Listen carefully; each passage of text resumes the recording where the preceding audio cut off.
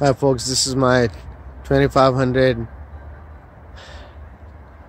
diesel and gas 2019 we have all make models trim levels and colors available.